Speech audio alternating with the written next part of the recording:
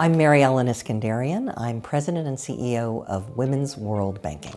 Women's World Banking has worked to make sure that low-income women in developing countries have access and control of the financial products and services that they need. I changed the game for low-income women so that financial service providers see them as valued customers, not charity cases. Empowerment is being able to control the decisions in your life and, and recognizing that you have the agency to do so.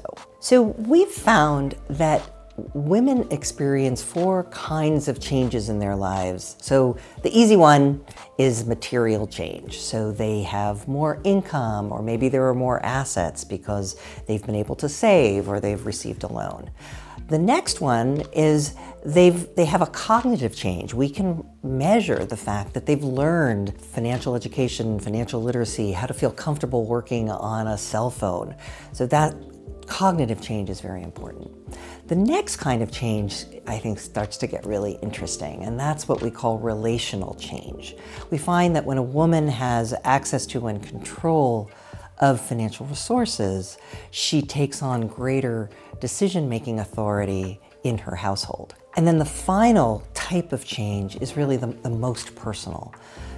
Women often experience a sense of self-esteem, an ability to plan for the future, more sense of their own agency, their own place in the world when they have control of financial resources. So fintech presents a hugely exciting opportunity, but we have to get over one really, really big hurdle, and that is making sure that women have access to digital technology. There is an 18% on average gender gap in smartphone ownership around the world. We've seen fintechs that provide peer-to-peer lending platforms. Women do very well when other women recognize the opportunity in their business and then, and then fund it. So there's lots of opportunity, but we've got to make sure that women have access to the technology.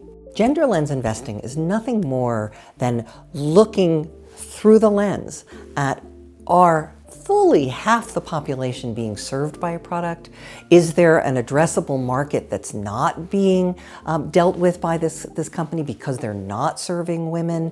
Are there women in the leadership so that gender diverse teams are solving the complex problems that a company might, um, might take on?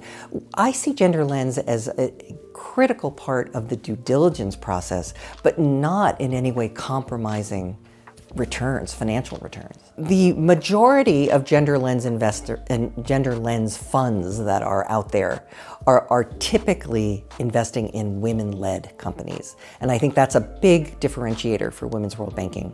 We're agnostic about you know, the gender of the founder of the company. We believe very wholeheartedly in gender diversity on, on leadership teams. But if a man founded the company, but is committed to serving women clients and doing it with gender diverse teams, we're very supportive of that. So I've been, I've been around a long time. I've been a banker for mo really most of my career. And while we still have a long way to go, there are still far too few women on the boards of financial service providers.